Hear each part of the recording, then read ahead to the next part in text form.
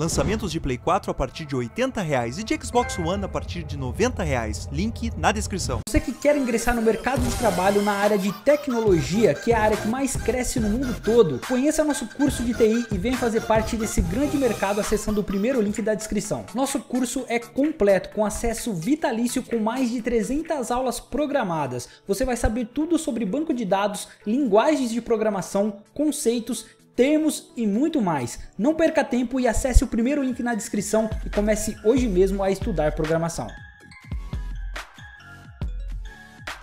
Fala meus queridos, tudo certo com vocês? Sejam todos muito bem-vindos a mais um vídeo aqui no canal Monster Games. Dessa vez galera, trazendo aqui pra vocês tudo sobre a nova alfa do game 171 Dublagens e detalhes do jogo numa análise completa da gameplay que a gente trouxe aqui no canal galera. Se você não conferiu, vou deixar um cardzinho aqui em cima com o vídeo pra você conferir, demorou? Mas antes da gente iniciar o vídeo mano, deixa aquele seu like maroto, arrebenta no like aí pra me ajudar a divulgar esse vídeo dentro da plataforma YouTube. Quanto mais vocês deixarem like, mais o YouTube divulga esse vídeo dentro da plataforma, manos eu conto muito com a ajuda de vocês e isso vai me motivar demais, galera, a trazer mais vídeos para vocês. Compartilhe esse vídeo com geral nas suas redes sociais. Se você for novo por aqui, seja muito bem-vindo. Se inscreva no botãozinho vermelho aqui embaixo e ative o sininho para receber as notificações. Me segue lá no Instagram, que é César e também na nossa fanpage, que é o nosso canal de lives. Assim que lançar o game, vamos trazer tudo, tudo para vocês em lives lá, mano. Então segue a gente lá, que é fb.gg barra demorou?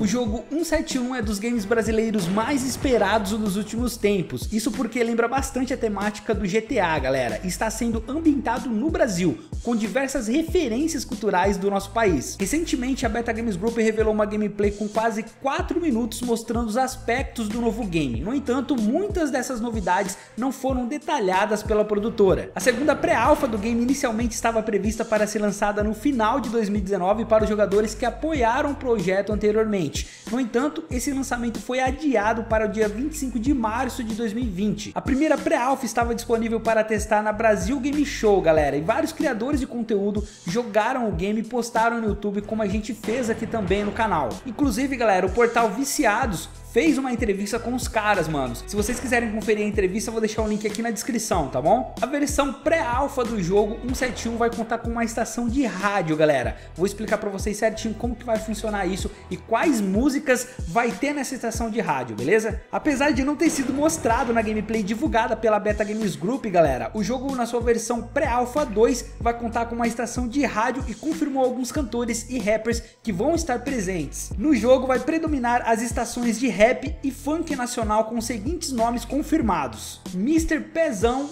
All Star Brasil, MC Richesse, e MC Amaral, entre outros que vão ser revelados em breve, galera. Vamos falar agora sobre o minimapa, dublagens e outras melhorias em 171. Outras das novidades adicionadas ao jogo, galera, foi a implementação de um minimapa no canto da tela, que lembra bastante o round de GTA 4. O áudio 3D também foi muito melhorado e as físicas dos carros também melhoraram, galera. Na primeira pré-alpha, os carros pareciam que estavam meio que flutuando ao andar no asfalto. Agora não, parece que eles estão mais no chão, deixando a gameplay mais fluida. O jogo também está com dublagens em português do Brasil. Apesar de estar limitada nessa versão, galera, ela posteriormente deve contar com mais vozes e frases para os NPCs e diversos outros personagens. Assim também o jogo conta com mecânicas de tiro dentro e fora dos carros. A polícia já está completamente funcional, com diferentes níveis de dificuldade à procura de nós que vamos estar ali causando dentro do jogo, né galera? Os níveis são exibidos no canto superior da tela do lado esquerdo, como vocês podem notar nessa imagem. É bem bem parecido ali com o sisteminha do GTA V, tá galera? Existe ainda uma mecânica de reconhecimento que aparece no minimapa. Se o nível for baixo, a polícia não irá abordar o jogador. No entanto,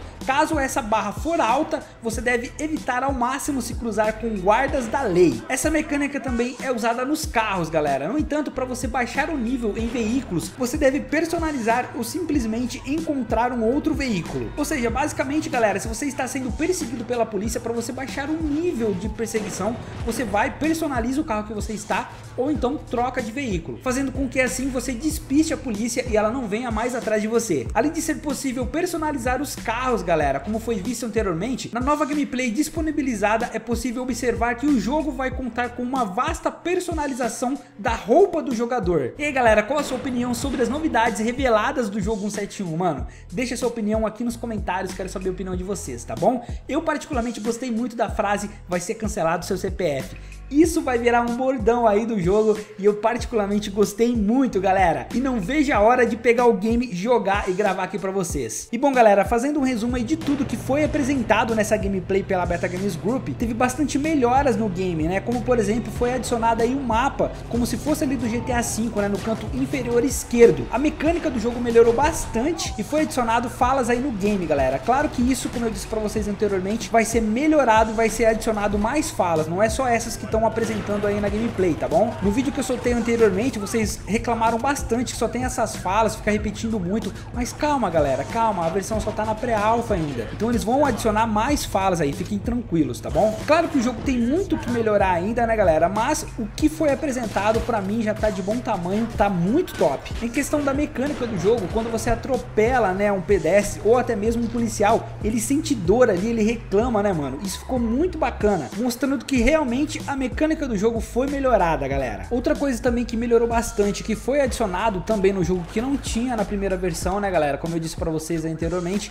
foi a troca de roupas do personagem. Em questão aí das armas, eu não sei como que vai funcionar, mas provavelmente vai ter algum local onde a gente possa comprar essas armas. Não só as armas, né, galera? Mas também munições, granada e outras coisas que você vai poder comprar, né, mano? Como, por exemplo, também carros. Provavelmente eles vão adicionar uma loja aí onde você vai poder comprar os seus veículos, tá, galera? Agora, partir da história, como que vai funcionar, como que você vai adquirir dinheiro. Claro que vai ser provavelmente com venda de drogas e fazendo outros serviços ilícitos aí, né? Mas vamos aguardar para ver como que vai ficar a versão final desse jogo que promete muito. Eu não sei se você vai conseguir trabalhar, seria muito interessante isso, galera, você conseguir trabalhar dentro do jogo para conseguir dinheiro, não somente vendendo droga ou fazendo coisas que não pode na vida real, né, mano? Todos esses detalhes, galera, que foram adicionados no jogo e que pode ser adicionado no jogo vai fazer total total diferença, mano. O jogo melhorou bastante desde a primeira versão, tá, galera? Com essa segunda versão eu senti muita diferença e realmente o jogo tá incrível. Outra coisa também, galera, é a questão dos tiros, mano. Melhorou bastante. Você tem a percepção total se o tiro tá sendo perto de você ou se tá sendo longe ou se passou perto de você. Até mesmo quando pega nos carros, na parede, isso ficou muito legal, galera. Trouxe uma realidade muito top pro jogo que faz total diferença na hora da gameplay, né? Na hora que a gente tá jogando ali. O áudio do jogo teve total mudança e melhorou bastante, mano. Ficou totalmente em 3D, você tem a percepção quando o carro tá passando à sua esquerda ou à sua direita, ou se tá passando na sua frente, ou se tem alguém atrás, enfim. Você tem total percepção de um áudio 3D que tem no mercado nos jogos que são lançados, né, galera? Isso faz com que você tenha total percepção e melhore a sua gameplay, né, galera? Que você vai saber se tem alguém atrás, você vai conseguir ouvir, isso faz muita diferença na gameplay. E fica um jogo mais profissional, né, rapaziada? Em questão de como vai ser medido seu nível de procurado pela polícia, galera, ou até mesmo você chamando atenção na rua, vai ser medido ali no seu HUD, no seu mapinha, no canto inferior esquerdo da tela. Como vocês podem perceber, tem uma barra vermelha ali, né, mano? Quanto maior a barra, mais você está sendo procurado ou até mesmo percebido. Quando essa barra está pro lado de baixo, galera, ela deixa ali um símbolo de um volante aceso em branco. Isso significa o nível que você está sendo procurado de carro. Quando muda para um personagem ali correndo, né, galera, em branco, isso muda para o nível que você está sendo procurado ou notado a pé. Quanto menor esse nível de notação, galera, mais fácil fica para você roubar um carro ou até mesmo praticar seus delitos, né, mano? Porém, se você for roubar um carro e já tá com um nível muito alto, isso vai chamar muita atenção e vai atrair a polícia pra cima de você. E galera, a gente tem que considerar que essa versão ainda pré-alpha, mano. Vai ter a versão alpha, depois a versão beta, pra depois o lançamento do jogo. Então tem muita coisa pra Beta Games Group melhorar no game, galera. E eu tenho certeza que eles estão melhorando. Até porque a versão que eu joguei lá na BGS é totalmente diferente dessa versão. Essa versão está bem melhor. No dia lá eles falaram que já tinha uma versão, galera, que estava bem melhor do que aquela que a gente estava jogando. E isso eu estou vendo se confirmar com essa versão que eles soltaram agora, né, mano? E eu tenho certeza que eles já estão com outra versão melhorada desse game e cada vez mais vai melhorar até o lançamento dele. E quando lançar, vocês podem ter certeza que vocês vão ter um jogo lindo nas mãos e totalmente BR. Isso que é importante, mano, a gente valorizar o que é nosso, né? Então, manos, ao invés de vocês criticarem, ajudem, dê palpites, mandam aí pra Beta Games Group para que eles melhorem as partes que vocês querem que melhora. Às vezes, com a opinião de vocês, galera, eles podem aí melhorar muito mais o game e vocês vão ter um jogo muito mais polido, né, rapaziada? Bom, galera, essa foi a análise, espero que vocês tenham curtido. Se vocês gostaram, não se esqueça do seu like, que é muito importante, mano. Conto com a ajuda de vocês aí. Deixa muito like, demorou? Compartilhem nas suas redes sociais para me ajudar na divulgação também. E se você for novo no canal, seja muito bem-vindo, se inscreva no botãozinho vermelho aqui embaixo e ative o sininho para receber as notificações. Me segue lá no meu Instagram que é César_MGYT, que também por lá vocês vão ter muita novidade do game e também por lá vocês recebem os vídeos que saem aqui no canal, beleza? Segue a gente na nossa página no Facebook que tá rolando live todos os dias lá e também vai rolar live do Game 171, mano. É só digitar aí no seu navegador fb.gg barra Player ou você clicando no primeiro link fixado nos comentários, você vai ser direcionado para lá, demorou? Segue a gente lá que também é importantíssimo. Muito obrigado a todos, fiquem com Deus, até o próximo vídeo, aquele abraço do monstrão, valeu, falou e fui!